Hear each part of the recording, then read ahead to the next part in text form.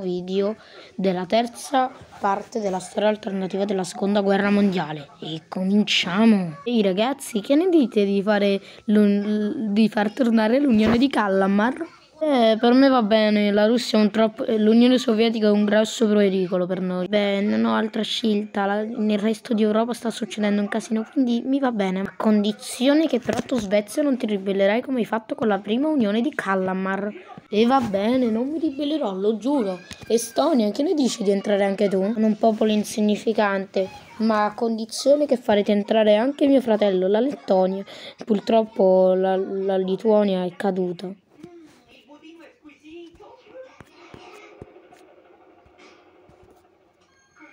Noi siamo e meglio è, va benissimo. Ehi, fratello Lettonia, che ne vuoi entrare anche tu nella confederazione, nell'unione di Kallamar? Se finalmente nasce l'unione di Kallamar, compresa. Nel frattempo, l'Italia conquista Malta, l'unione italiana e albanese. Beh, adesso Adesso Unione di Calamar, dammi immediatamente la Finlandia. Ma assolutamente no, te la scordi. I finlandesi sono nell'Unione di Calamar, mai nella vita. Così potrò liberare anche delle regioni in cui si parla finlandese e c'è la cultura svedese e norvegese. L'ora è guerra, ma attaccherò non con tutte le mie truppe. Ah ragazzi comunque prima di dire questo volevo dire che non metterò tutta la Russia, metterò le parti che confinano perché ci metterei una vita se no. Del fronte comunque. Nella, la Russia inizia un'avanzata in Finlandia respingendo le armate e inizia ad entrare sia in Estonia che in Lettonia. Il, ma l'unione di Kalmar si rivela forte, il suo asso nella maglia prendeva in giro la Russia l'Unione Sovietica. Scusate, da fastidio, penso. Prendeva in giro l'Unione Sovietica. Infatti passa, passa a conquistare i territori dell'Urussia.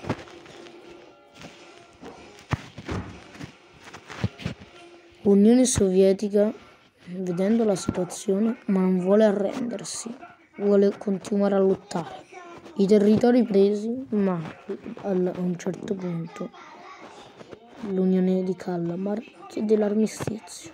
I russi accettano. Ok, ok, hai vinto tu. Basta che prenditi tutto quello che vuoi. Ah, oh, finalmente.